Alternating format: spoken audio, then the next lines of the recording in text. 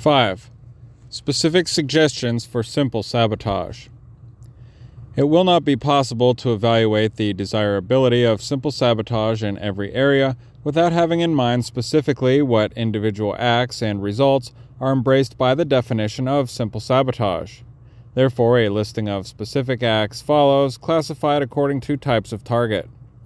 This list is presented as an example rather than an exhaustive outline. As new techniques are developed or new fields explored, it should be elaborated and expanded.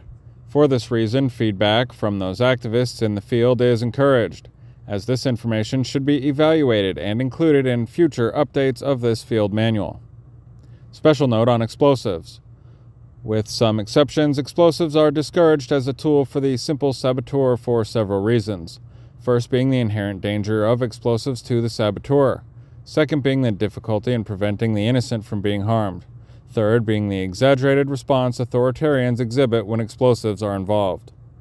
5 1 Buildings Government offices, court and municipal buildings, police stations, jails, county slash parish, utility maintenance buildings, and even corporate buildings of the military industrial complex or the prison industrial complex, along with obvious targets in the U.S. like the NSA, FBI, BATF, DOJ, INS, IRS, DEA, DHS, TSA, FAA, etc., or their equivalent agencies in other governments, are outstanding targets for simple sabotage.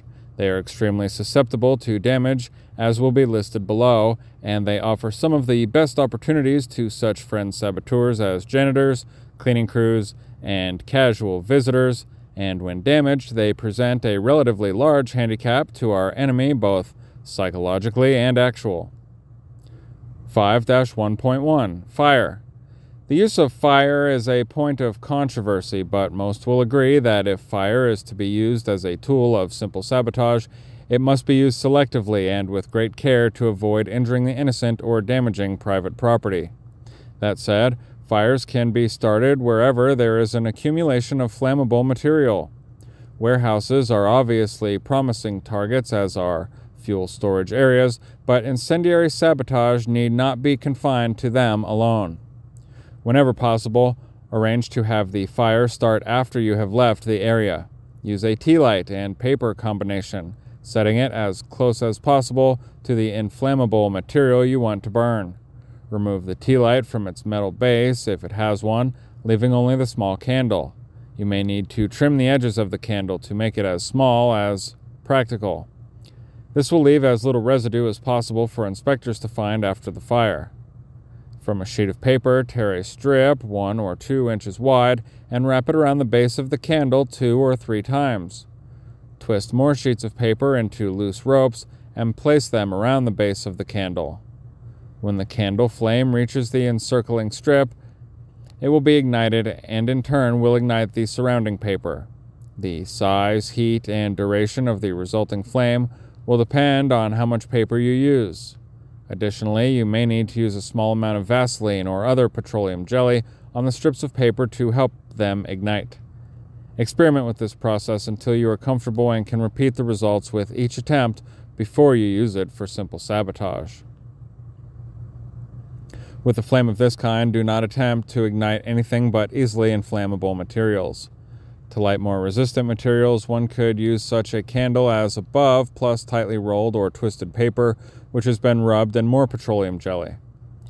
To create a briefer but even hotter flame, infuse dryer lint with petroleum jelly and form it into a nest of plain or saturated paper, which is to be fired by a candle. Again, experimentation is the key to success. To make another type of simple fuse, rub one end of a piece of cotton string with petroleum jelly. Rub a pinch of gunpowder over the inch of string where greasy string meets clean string. Then ignite the clean end of the string. It will burn slowly without a flame, in much the same way that a cigarette burns, until it reaches the grease and gunpowder. It will then flare up suddenly. The grease treated string will then burn with a flame. The same effect may be achieved by using matches instead of the grease and gunpowder. Run the string over the match heads, taking care that the string is not pressed or knotted. This too will produce a sudden flame. The advantage of this type of fuse is that string burns at a set speed. You can time your fire by the length and thickness of the string you choose. Use a fuse, such as the one suggested above, to start a fire in an office after hours. The destruction of paper records and other types of documents can be a burden to the enemy. However, fire may not destroy data on computers, so the impact may be more psychological than strategic. Once again, the selection of the target is key to achieving the maximum impact of the simple sabotage. Fire may be more useful as harassment or as a distraction than whatever it may accomplish on its own. In basements or where waste material is kept, janitors should accumulate oily and greasy waste. Such waste sometimes ignites spontaneously, but it can easily be lit with a cigarette or match. If you are a janitor on night duty, you can be the first to report the fire, but don't report it too soon. Also, a clean factory is not as susceptible to fire as a dirty one. Workers should be careless with refuse, and janitors should be inefficient in cleaning and in handling flammable cleaning products. If enough debris and trash can be accumulated, an otherwise fireproof building will become inflammable. Once again, fires can be timed with other events to draw authorities away from a more important activity. 5 1.2 Water, sewers, and miscellaneous. Fire suppression or fire sprinkler systems may seem like the perfect way to commit simple sabotage. However, automatic sprinkler systems vary in type, function, and design. Some types can be activated by simple means, others are complicated. Some systems spray water from all the sprinklers at once, others only activate one sprinkler at a time or one zone at a time. Some don't even use water. Some automatically contact the fire department, some don't. Some sound an audible alarm and some don't. Before you assume you can use a fire sprinkler system for sabotage, Find out the type of system used and make sure it will do what you expect it will do. Research is the key. Do your homework before you commit to a project. Toilets and sewer systems are always vulnerable to a variety of simple sabotage, and unlike a fire, they are not likely to get out of control and cause unwanted damage or injuries. Every public building has toilet facilities, and very little is done to protect them. Also, it's reasonably safe to assume that restrooms are camera free zones. One plugged toilet won't close a building, but can be a source of irritation and frustration. However, if the entire sewage system of a building can be disrupted, the building will need to be closed until the problem is resolved. A simple plug can be made with a large natural sponge. Moisten the sponge and squeeze it tightly into a ball. Wrap it with string and let it dry. Remove the string when fully dried. The sponge will be in the form of a tight, hard ball. Drop it in a toilet and quickly flush it down. The sponge will gradually expand to its normal size and plug the sewage line. Some experimentation may be needed to get the right size sponge, but keep trying until you are successful. Expanding foam, sold at hardware stores in aerosol cans under the brand name Great Stuff, can be used for more extensive sewer obstructions. Fill a small sandwich bag with the foam and quickly flush it down the toilet. The foam will expand and escape the bag, plugging the sewer line. Be careful as the foam tends to stick to everything and won't wash off of hands or clothing. It may be possible to attach a longer tube to the nozzle of the can of foam and fish it down the toilet. 3 to 6 feet or 1 to 2 meters. Then discharge the foam directly into the sewer line. Such an action would take some planning and may involve leaving behind evidence so always take that into consideration when planning any act of simple sabotage, especially those that involve DNA. Oftentimes, outside of a building or in the basement or service area of the building, there are sewer cleanout access caps that can be easily opened and foam can be injected directly into the building's sewer service line. Cans of expanding foam are difficult to conceal, but can be used in an unending list of applications for clogging or gumming up the mechanical works of office machines, elevators, heating slash AC systems, and even security cameras. Quick shots of foam into computer case fans can slowly overheat computers.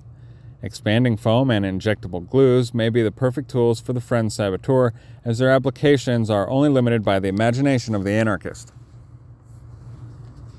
Door locks and hinges are a weak point in the security of any building, but they can also be a source of irritation when they don't work correctly.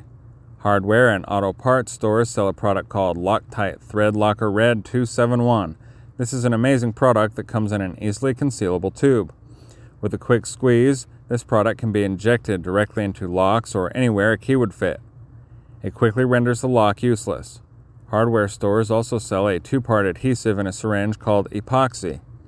As you actuate the syringe, the two parts mix into a hard, powerful adhesive. Sometimes a toothpick or some other item must be used to stir the mixture for maximum hardening effect. You can use the syringe to inject the epoxy into the hinges of doors that are not in the viewing field of security cameras. This method can be used on older automobiles and trucks with manual door locks. It can also be used on windshield wiper arms and other locations. Your greatest weapon is always your imagination, so set it free to discover what mayhem you can bring upon our enemy. In addition to all the above, late night building maintenance workers can carefully switch signs and mislabel halls, floors, and rooms mislabel electrical panels and electrical switches, or anything else that will cause low level confusion. Mislabel exits and entrances in parking garages. Move designated parking spaces to different locations. Intentionally paint parking lines too close to each other, causing cars to be crammed together. Remove or alter overhead height slash clearance warnings in parking garages. Building cleaning crews can randomly remove papers and reports from desks and unlock drawers at night, or simply move items from one drawer to another or even from one cubicle to another. Perhaps make it look like one cubicle worker is stealing his coworker's items. Be selective with your targets and focus on the most productive state supporters and decision makers. If you find it necessary to force entrance into a building, a window or door is usually assumed to be the best way to break in. However, that may not be the case. Windows and doors are usually the primary location of security devices, cameras, and alarms. Interestingly enough, often the weakest point in a building is a ground level wall, preferably behind bushes or other landscaping. Many exterior walls are simple wooden frames or studs set 16 to 24 inches apart, with thin chicken wire and paper covered over with stucco. An inexpensive stud finder will tell you where to avoid. Using any of several small hand tools, the stucco between the studs can be quickly and quietly compromised with light tapping and some prying until the paper and wire can be cut away with pliers. The interior of these walls are often simple sheetrock that will also quickly and quietly break away with light tapping and prying.